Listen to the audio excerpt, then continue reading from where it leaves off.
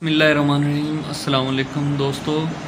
दोस्तों, इंसान को अल्लाह ताला ने बेतहाशा नेमतों से नवाजा है, जिसकी बे, जो हमारा जो जिसम है, जिसम के एक एक अज्जा एक एक जो उज़ू है, अल्लाह ताला की हम लाख करोड़ों शुक्र अदा करें तो वो भी कम है।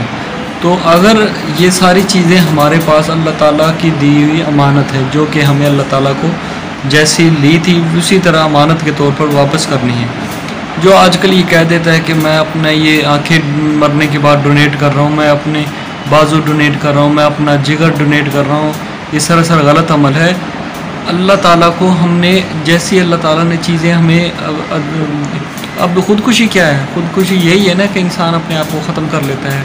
तो इंसान को इंसान को अपने ऊपर कोई इख्तियार नहीं है। इंसान का क्या हक बनता है कि अल्लाह ताला की बनाई हुई चीज़ की ज़िंदगी और मौत का फ़ैसला करे?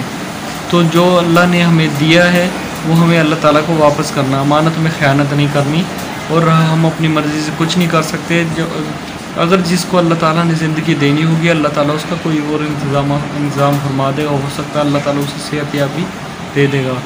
तो अपने अज्जा को डोनेट करना, ये गलत काम है कि इसमें यह है कि हमें हिसाब देना होगा कि हमने अल्लाह ताला की दी हुई इतनी अच्छी नेमत को हमने दूसरों को, क्योंकि बेशक बाज़ लोग जो स्पेशली ये लिख के जाते हैं कि भाई मेरे मरने के बाद मेरी आँखें, मेरे दिल, ये सदका खैरात कर देना तो ये सरासर गलत अमल है।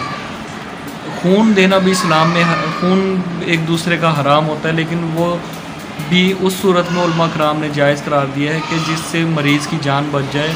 खून देना जायज़ है। Thank you very much God bless you